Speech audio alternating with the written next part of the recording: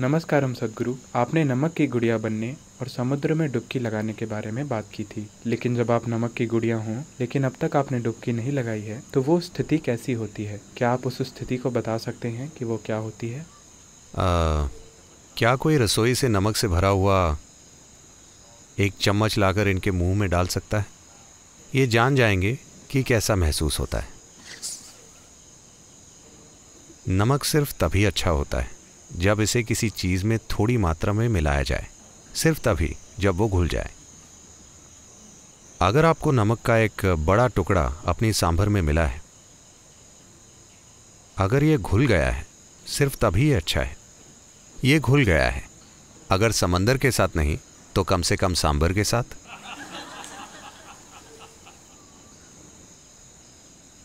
जब ये किसी चीज़ में घुल जाता है तो अच्छा होता है। अगर नमक का टुकड़ा बना रहता है तो ये बुरा है।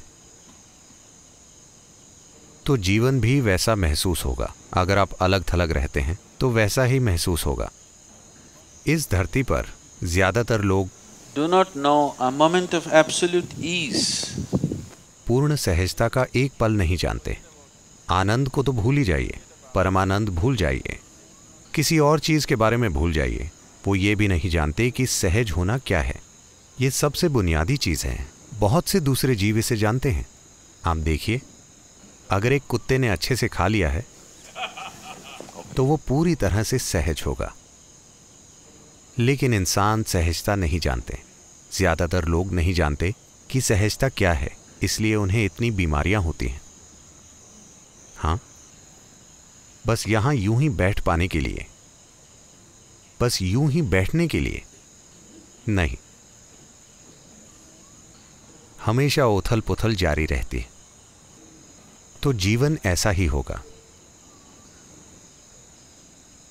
क्योंकि आप नमक से बहुत ज़्यादा भरे हुए हैं।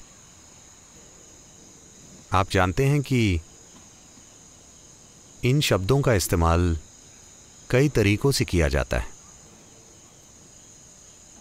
जब हम नमक कहते हैं तो ये एक तरह से सार है। अगर आप कहते हैं पृथ्वी का नमक इसका मतलब है कि आपने धरती का सार तत्व ले लिया है। तो जब हम कहते हैं, आप एक नमक की गुड़िया हैं, या अगर आप वैसे बन जाते हैं तो ये सार है। फ़िलहाल आपके व्यक्तित्व का सार। बस आपके विचार, आपकी भावनाएँ, आपकी राय पूर्व धारणाओं का एक बंडल है, जो आप ढो रहे हैं। ये आपके व्यक्तित्व का सार है। और ये आपके कर्मों से ज़बरदस्त रूप से प्रभावित है। आपकी यादाश्त थी। आपको वो बनाती है जो आप हैं। तो ये आपका नमक है। आपके व्यक्तित्व का सार बस वही है, जो आपको कल या पिछले पल के बारे में याद है। अगर हम आपकी याददाश्त को बस आपके मन से ही नहीं, बल्कि आपके शरीर सहित सभी स्तरों पर मिटा दें, अगर आप सारी याददाश्त मिटा देते हैं तो कहीं भी व्यक्ति जैसी कोई चीज़ नहीं होगी। अगर कोई व्यक्ति नहीं हो तो बस जीवन होगा।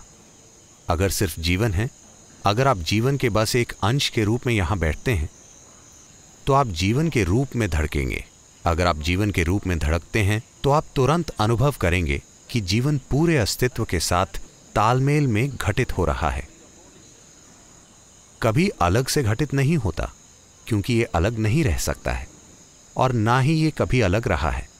हमेशा हर चीज़ के साथ एक होकर रहा है। ये सिर्फ़ आपका व्यक्तित्व ही है, जो अलग घटित हो रहा है। यही नमक है। आपके विचार, आपकी राय, आपकी फिलॉसफी, आपकी विचारधारा, जब आप अपने विचारों को जटिल कर देते हैं तो ये एक विचारधारा बन जाती है। आपकी भावनाएँ, जो उसी चीज़ की एक और अभिव्यक्ति हैं, आपके पूर्वाग्रह, उसी चीज़ की एक और अभिव्यक्ति है। वास्तव में आप अपनी याददाश्त में निवेश कर रहे हैं, या असल में आप उसमें निवेश कर रहे हैं जो मर चुका है। आप मुर्दा घर को संभाल रहे हैं। आपका धंधा मुर्दों के साथ है। हर पल आपका जीवन उस बारे में है जो खत्म हो गया है। हर चीज़ जो आप हैं, वो उस बारे में है जो पहले ही खत्म हो चुका है। तो चूँकि आप मुर्दा घर संभाल रहे हैं तो आप एक खास उथल पुथल की स्थिति में रहेंगे।